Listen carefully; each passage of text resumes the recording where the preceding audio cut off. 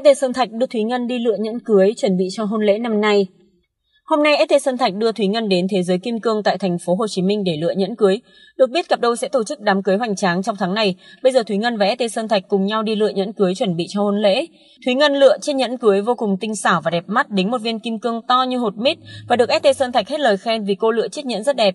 ST Sơn Thạch lựa cho mình chiếc nhẫn tinh tế sang trọng, đính một viên kim cương ẩn dưới chiếc nhẫn nhìn vô cùng đẹp mắt. Được biết cặp nhẫn cưới của Thúy Ngân và ST Sơn Thạch trị giá hơn 6 tỷ đồng nên có thể thấy được độ chịu chơi của cặp đôi. Dự là đám cưới của cặp đôi cũng sẽ vô cùng hoành tráng. Với khán giả làng giải trí Việt, ST Sơn Thạch chưa bao giờ ngừng nhận được sự quan tâm. ST là chàng trai có tên thật là Nguyễn Cao Sơn Thạch. Trước kia anh chỉ lấy nghệ danh là ST, nhưng lo lắng nhầm lẫn với Sơn Tùng nên nghệ danh kèm theo cả tên Sơn Thạch. Anh hoạt động trong lĩnh vực giải trí khá sớm với việc đảm nhận vai trò ca sĩ diễn viên. Chàng trai có phong thái lịch lãm, cách nói chuyện hài hước nên luôn nhận được sự yêu mến từ phía khán giả. Từ nhỏ ST đã theo học múa ba lê nên về khả năng vũ đạo của nam ca sĩ rất tốt.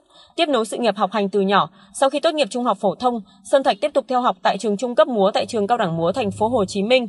Đây chính là bước đệm tuyệt vời để Sơn Thạch phát triển con đường ca sĩ về sau. Sơn Thạch luôn cố gắng hết mình trong công việc, dù ở dự án âm nhạc lớn hay nhỏ, anh đều dành hết tâm huyết, tinh thần. Cộng với tài năng, chàng trai đã thành công rất sớm, nhưng sự thành công lớn nhất của Sơn Thạch trên con đường ca hát chính là được khán giả yêu mến và ghi nhận. Buka khiến dân tình phát sốt khi chia sẻ khoảnh khắc Diên Tuấn Kiệt cưng chiều. Cặp đôi Buka Diên Tuấn Kiệt từ sau khi công khai về chung một nhà luôn nhận được sự quan tâm đặc biệt từ khán giả. Đầu năm 2024, cô dâu mới lại khiến khán giả rần rần vì khoe tiền lì xì nhận được từ chồng. Mới đây Buka bắt trend múa nhún nhảy theo ca khúc Em là em bé yêu. Sau những câu hát, em vẫn muốn được anh lì xì, vẫn muốn được làm em bé. Buka bất ngờ nhận được bao lì xì từ Diên Tuấn Kiệt. Đáng nói, nữ nghệ sĩ chẳng giấu giếm số tiền trong bao thư mà còn cùng ông xã công khai giá trị cho mọi người. Trong đó, Buka nhận được 10 tờ 100 đô, hơn 2,4 triệu đồng. Như vậy tổng số tiền mà cô được cục chồng lì xì ngày đầu năm là 1.000 đô, hơn 24 triệu đồng. Giá trị món quà khủng ngày đầu năm mà Diên Tuấn Kiệt tặng Buka khiến cư dân mạng phải để lại bình luận xin vía.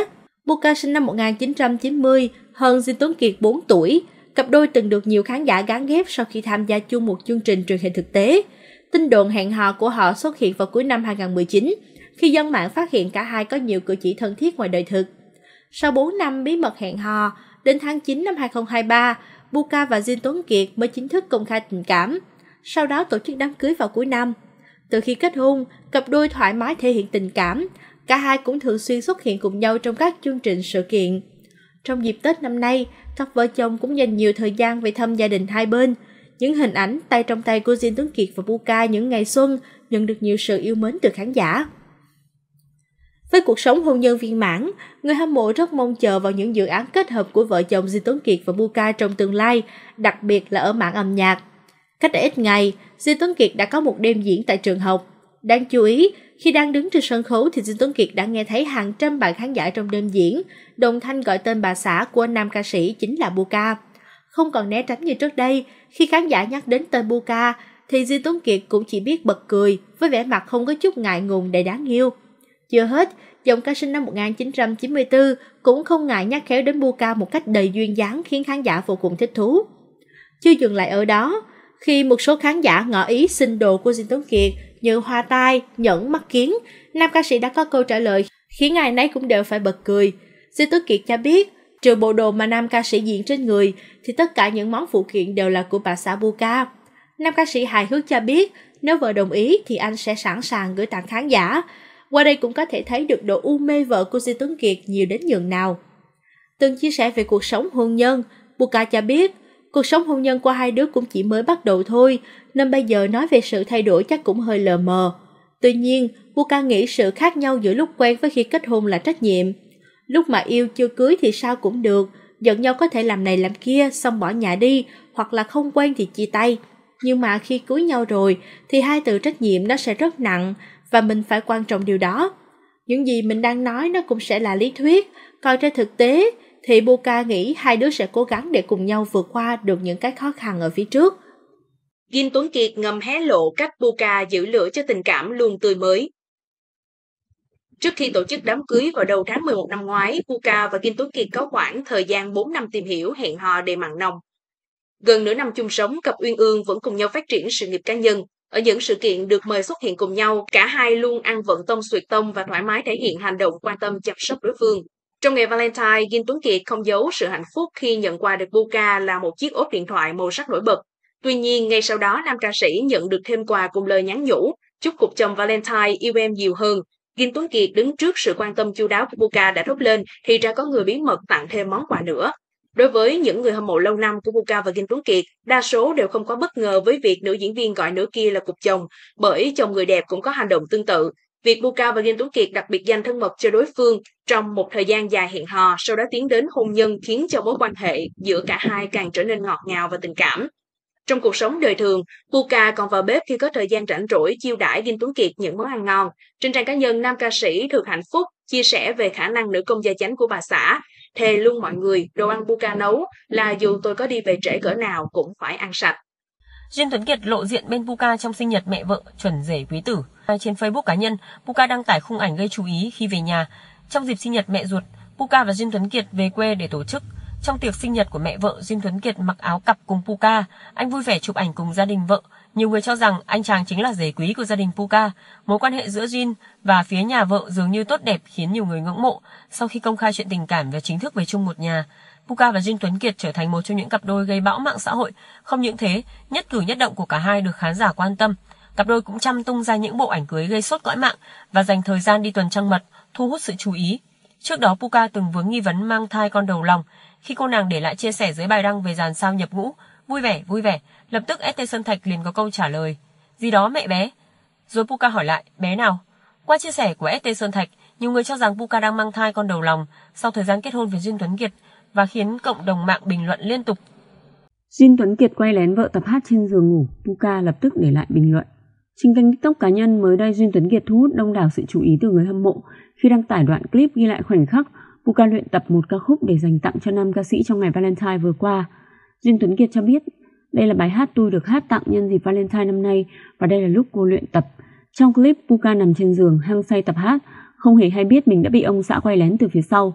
Dường như Puka muốn tạo bất ngờ cho chồng nên đã không nhờ Duyên Tuấn Kiệt hướng dẫn mà tự mình mày mò luyện tập. Ca khúc mà Puka lựa chọn để hát tặng Duyên Tuấn Kiệt trong ngày Valentine là một bài hát ngọt ngào về tình yêu. Vì không phải là ca sĩ cũng như không có sở trường về hát hò, nên ca khúc này chính là một thử thách không nhỏ với Puka. Nữ diễn viên liên tục thốt lên, khó hát quá, sao nó cao quá vậy? Nhưng vì muốn tặng cho chồng trong dịp Valentine đầu tiên sau khi cả hai về chung một nhà, nên Buka vẫn rất cố gắng để thể hiện trọn vẹn bài hát này. Sau khi đoạn clip hậu trường này được Duyên Tuấn Kiệt đăng tải lên trang cá nhân, Buka lập tức để lại bình luận, sao đoạn em hát được anh không đăng. Qua chia sẻ của Buka, khán giả lại càng thêm mong chờ Duyên Tuấn Kiệt sẽ sớm đăng tải trọn vẹn màn thể hiện của vợ trong ngày lễ tình nhân vừa qua.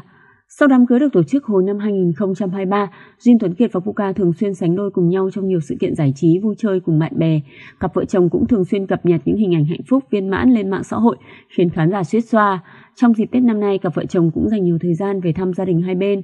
Những hình ảnh tay trong tay của Jin Tuấn Kiệt và Puka những ngày xuân nhận được nhiều sự yêu mến từ khán giả. Với cuộc sống hôn nhân viên mãn, người hâm mộ mong chờ vào những dự án kết hợp của hai vợ chồng Puka Duyên Tuấn Kiệt trong tương lai, đặc biệt là ở mảng âm nhạc. Buka khoe lì xì từ Duyên Tuấn Kiệt ngày đầu năm, 10 tờ 100 đô khiến netizen đồng loạt xin vía. Buka hỏi thăm tình hình lì xì của người hâm mộ, đồng thời khoe bao lì xì từ cục chồng Duyên Tuấn Kiệt. Tết đến xuân về, dù là người lớn hay trẻ nhỏ, ai ai cũng đều háo hức trước những phong bao lì xì may mắn. Câu chuyện về lì xì luôn là mối quan tâm chẳng của riêng ai, ngay cả các sao Việt cũng vậy. Mới đây Buka bắt trend nhún nhảy theo ca khúc Em là em bé yêu. Sau những câu hát em vẫn muốn được anh lì xì, vẫn muốn được làm em bé. Buka bất ngờ nhận được bao lì xì từ Diên Tuấn Kiệt. Đáng nói, nữ nghệ sĩ chẳng giấu giếm số tiền trong bao thư, mà còn cùng ông xã công khai giá trị cho người hâm mộ. Theo đó, Buka nhận được 10 tờ 100 đô, hơn 2,4 triệu đồng. Như vậy, tổng số tiền mà cô được cục chồng lì xì ngày đầu năm là 1.000 đô, hơn 24 triệu đồng. Giá trị món quà khủng ngày đầu năm của Di Tuấn Kiệt tặng cho Buka khiến nhiều người cư dân mạng phải để lại bình luận xin vía. Sau khi công khai chuyện tình cảm và chính thức về chung một nhà sau đám cưới hoành tráng, Buka và Di Tuấn Kiệt trở thành một trong những cặp đôi gây bão mạng xã hội. Từ ngày kết hôn đến nay, cặp đôi thường xuyên gây sốt với những lần dính nhau như Sam tại sự kiện. Đặc biệt, Di Tuấn Kiệt cũng thể hiện sự yêu chiều bà xã khiến ai nấy không khỏi ghen tị.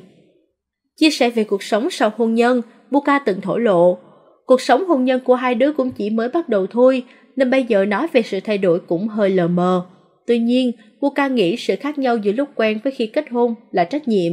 Lúc mà yêu chưa cưới thì sao cũng được, giận nhau có thể làm lành, làm này làm kia, xong bỏ nhà đi hoặc là không quen thì chia tay. Nhưng bây giờ, cưới nhau rồi thì hai từ trách nhiệm nó sẽ rất nặng và mình phải quan trọng điều đó. Những gì mình đang nói nó cũng sẽ là lý thuyết, còn trên thực hành thì Buka nghĩ hai đứa sẽ cố gắng để cùng vượt qua những cái khó khăn ở phía trước.